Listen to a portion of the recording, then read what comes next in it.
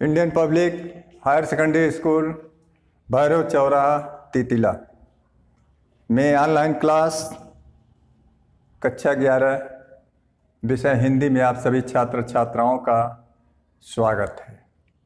आज हम आप सभी लोगों को हिंदी खड़ी बोली, गद्य का व्यवस्थित विकास के और भारतेंदु से पूर्व हिंदी गद्य के चार उन्नायकों के और उनकी रचना के विषय में प्रकाश डालेंगे। ध्यान दीजिए,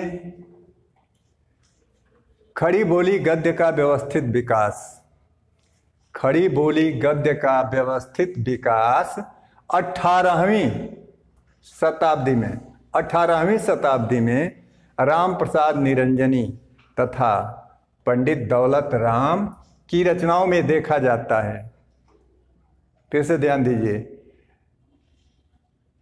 खड़ी बोली गद्य का व्यवस्थित विकास। अठारहवीं शताब्दी में राम प्रसाद निरंजनी तथा पंडित दौलत राम की रचनाओं में देखा जाता है। भारतेंदु युग में अनेक रचनाएँ हुई।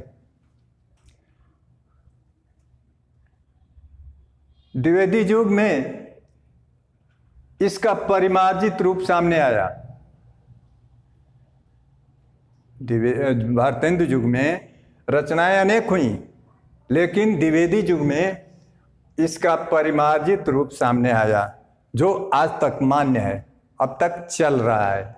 इसके बाद हम भारतेंदु से पूर्व हिंदी गद्य के चार उन नायकों और उनकी रचना के विषय में बतला रहे हैं। हिंदी गद्य के चार उन्नायक पहला मुंशी सदा सुखलाल। इनकी रचना है सुख सागर दूसरा ईसा अल्लाह खां। इनकी रचना रानी केतकी की कहानी है। पंडित लल्लू लाल इनकी रचना प्रेम सागर है। और सदल मिश्र की रचना नासिकेतोपाख्यान है। हम आप लोगों को बता दें कि इन लेखकों और इनकी रचनाओं के विषय में हमेशा लघुत्तरी प्रश्न, हमेशा लघुत्तरी प्रश्न पूछा जाता है।